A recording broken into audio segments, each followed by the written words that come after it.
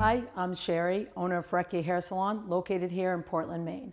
And what I'm going to demonstrate for you is how to clean a flat iron plates for you. One of the things that's really simple is to use a simple product. I'm using um, the Phyto which is a cleansing product, shampoo, that you can use for your hair. No, makes perfect sense since the blades do go on your hair. One of the things that you want to do is just lightly take some cotton, a tiny, a dab of the shampoo, basically rub it on your plates.